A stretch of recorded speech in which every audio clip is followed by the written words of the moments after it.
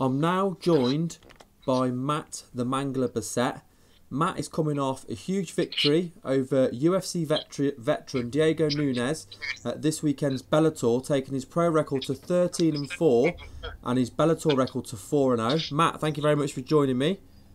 Yeah, thank you for having me. I appreciate it. Uh, my pleasure. First of all, got to say congratulations. That was one hell of a fight.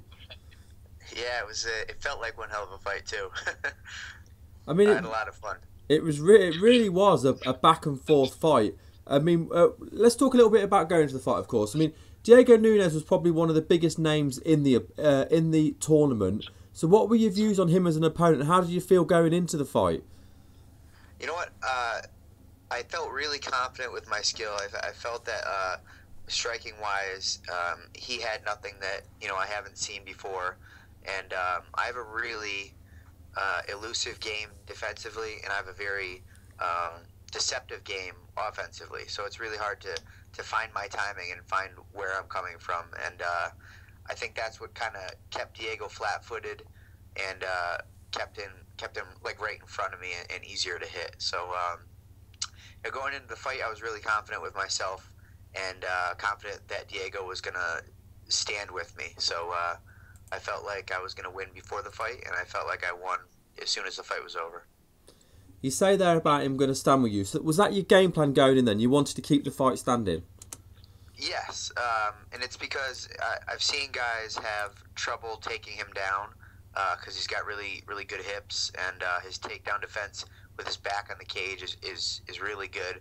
So I didn't want to gas or, uh, you know, even slow down just a tiny bit. So uh, I embraced the fact that I was going to be striking with uh, one of the best strikers in the world. And uh, I just upped my game, upped my cardio striking, and I, I tried to take it to him.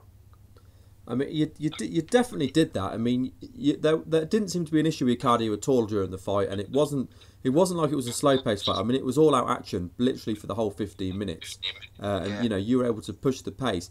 I mean, you landed some huge, huge shots. Were you surprised that you didn't put him away? Uh, no, I wasn't surprised at all because I've seen uh, several of his fights. Like I'm a, I'm a huge Diego fan. Uh, you know, I've been watching Diego for years, and uh, he, he'll get hit with some big shots. And like the only time he's ever been stopped was his last fight. So, you know, I wasn't, I, I wasn't assuming the finish. I knew I was going to have to work for it. You know. Now he he also landed some big shots as well. So how did you feel on on the receiving end of those shots? Um, I have a I have a monster chin, and that's uh, honestly that's the reason why I got into MMA because I could take a, a really big shot. Um, uh, the, the fight the fight is fun too, but I could take a really big shot. Um, the only one I didn't see his knee, and I think that's what dropped me. But as soon as I hit the ground, I was 100% there. Um, I knew he hit me with the knee. It wasn't like I was out of it or anything. And um, you know, he hit me with some big shots here and there. But for the most part, if you look back at the tape, I blocked. Uh, you know, 99% of his kicks, 99% of his punches. So uh, my forearms are tired and my legs are tired from blocking punch, punches and kicks. Yeah, I mean, then it was he, he threw a jumping knee, didn't he? And he caught you just ro- literally on, on the button. But like you said, you recovered really quickly. Now Yeah. it, it really was a back and forth fight, and for me watching it as a fan, it was one of those fights where I was watching, it, I was thinking, I actually don't know who's won this fight, you know, because it was you both took big shots, you both landed big shots. So when it went to judges' scorecard, how confident were you that you'd got the decision? I was 100% confident I got the second round and about 51% confident I got the third round. That's how close I, uh, I thought it was. Um, when you're in the fight, I mean, you know, you, you, you feel something that, you know, other people don't. So uh, I, I knew I was in his head in the second and third round. I knew I was getting the better of the exchanges. Every time he would come at me, uh, I would counter punch him. Every time I was finishing every combination. Um, and I felt like I got the better of him in the third round. The second round wasn't close, and I don't really feel like the, the first round was all that close based upon the knee that he caught me with. Uh, that one judge that scored at 37, my guess is he didn't see the knee land. Maybe he just saw me go to the ground. You know what I mean? Um, so, so I, I mean, I guess I could see why he scored at 30-27, but right after the fight, uh, the cameras were on me, and I, I think you can hear me saying I definitely had rounds two and three, right? Rounds two and three, and uh, my corners believed I do, and, and uh, I think that's what uh, the, the judges thought I had two, two and three for sure. Now, as, as well, when the decision was called, you could you could see how much it meant to you. So, talk us through the emotions and of getting that such a after after such a, a draining fight, and I imagine an emotionally draining fight as well. The way it's back and forth, and over such a well-known opponent. What did the win mean to you? Oh man, it was so awesome. uh, I'm still so happy. I, am really happy. Um, it, being picked to be in the tournament was one thing.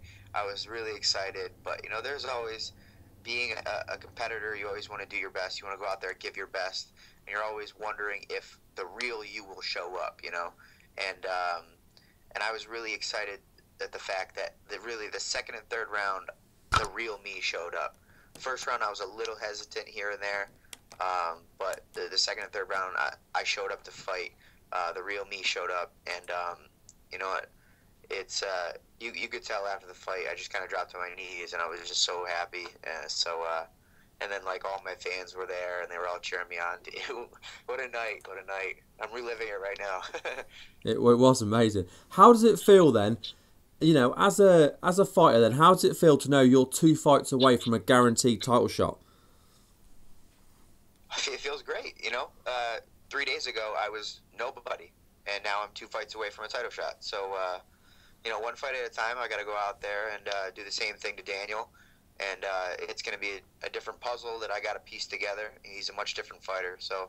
Um, you know, I have, a, I have an idea what I want to do, but I'll, I'll have I'll know exactly what I want to do in a few days when I uh, get enough video and really look at him and uh, figure out how the fight's going to go down before it does. Yeah, the fight is approximately four weeks away. How are you feeling then after that fight, as in injuries? Any knocks, any bruises? No, absolutely not. I have a like a small bruise on right above my knee, but it like it's it'll be gone tomorrow. You know what I mean? Oh, brilliant. Um, and obviously, your next fight, as you say, is going to be against Daniel Weichel. He had a, uh, an impressive win as well. He managed to get a stoppage uh, in the first round, if I remember rightly, on his fight. What are your views on him as an opponent? Uh, I, he's definitely the most experienced, right? He's got 40 fights. That's, that's a ton of that's fights. That's right, yeah. Yeah. Um, so you know he won't be he won't be nervous at all. He won't be hesitant, and uh, you know sometimes newer fighters are a little hesitant. He won't have that um, kind of clouding his judgment. So he should come out ready to go, ready to fight, and uh, you know it should be another great fight. Well, obviously, I really appreciate you giving me your time. Congratulations on what was a fantastic performance on Friday. Very much. I love your accent. I wish I uh, am American. I sound I sound like a joke. I tell you what, you can have my accent if I can have your fighting skills. uh, no, no, no. You, you keep your accent. You you win. You win. Uh, okay then. I, before I let you go, I just want to give you a chance to any shout outs. You want to shout out your Facebook and your Twitter and let the listeners know about your sponsors and also for anyone you want to thank. Yeah, uh, first off, I want to uh, thank my sponsors. Um, you can check them out on my Facebook um, as my backdrop. Uh, Matt Bessette, last name B E S S E T T E. Um, also want to uh, thank up my sponsors on here. Uh, North American Grappling Association uh, has been with me for quite some time, and Kipp Kollar is such a good dude.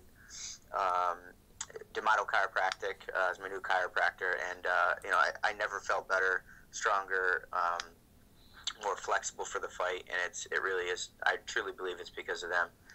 Um, and um, uh, RobLucy.com. He's my my tattoo guy. I haven't gone to him in a while, but uh, you know, look him up. He's awesome. Uh, I, I want to get covered my entire body before I'm dead, so go back to him. um, yeah, and then look me up on Twitter too. Uh, Mangler BJJ is my my uh, my name. Well, I really appreciate you giving me your time, and I can't wait see you step into the octagon again, uh, into the cage again, and fight Daniel Weichel. Thank you very much. Thanks for the Skype.